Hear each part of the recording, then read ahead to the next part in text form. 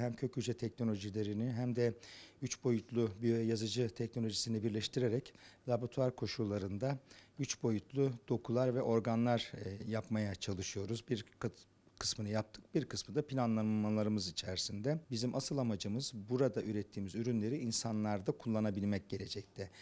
Ee, örneğin e, vücudunda e, büyük bir kısmı yanmış bir insanın kendi hücrelerini, kendi kök hücrelerini kullanarak deri yapıp o insanın tedavi etmek ya da kornea üretip o insanı tedavi başka bir insanı tedavi etmek, karaciğer, kalp tabii ki hedeflerden başka organlar.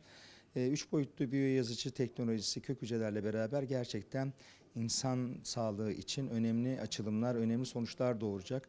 E, Bu alan çok önemli.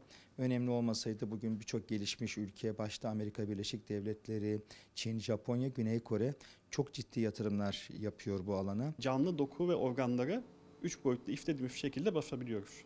E, Buradan yola çıkarak da biz önce dokular ardından organlara geçecek şekilde çalışmalar yapıyoruz. Geliştirdiğimiz ürünler arasında yapay, deri, kornea çalışmalarımız var, kıkırdak, kemik çalışmalarımız var. Hatta yaptığımız kemikleri e, üç boyutlu yazıcılarda basarken normal insan kemiğinden daha da sağlam olacak şekilde tasarlıyoruz ki hani e, yapmışken daha da iyisini yapalım. Sadece normal insan dokusuyla kalmayalım diye. Üç boyutlu yazıcılarla üretilmiş robotik kollar, protezler var aslında. Bunlar mevcut. Dünyada da geliştiriliyor. Biz kendi laboratuvarımızda da yine öğrencilerle birlikte bunları üretiyoruz.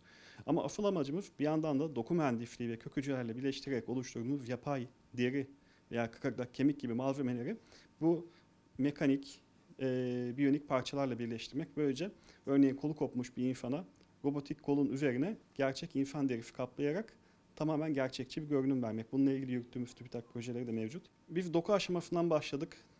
Temel dokulardan başlayıp bunlarla ürettiğimiz deri, damar gibi biraz daha kompleks yapılara geçtik. Bunların üçüncü aşaması artık karaciğer gibi organlar veya farklı dokuların birleştiği, kemikli kıkırdağın birleştiği örneğin yapay eklemler. İnsanlara eklem sıkıntısı, eklem hastalığı olanlara e, protez takmak yerine kendi hücrelerinden oluşturulmuş gerçek insan eklemleri takıp bu hastaların iyileşmesini sağlamak mümkün olacak ileride. Bu üç boyutlu biyoyazıcılar ve doku mühendisliği geleceğin tıbbı olarak görülüyor. Gelecekte e, hastalıkların tedavisinde organ transplantasyonuna yani organ bağışına alternatif olarak kullanılacak bir yöntem belki gelecekte 10-15 yıl içerisinde artık insanlar organları hastalandıkça bunları üç boyutlu biyoyazıcılardan üretilmiş versiyonlarıyla değiştirip kullanabilir hale gelecek.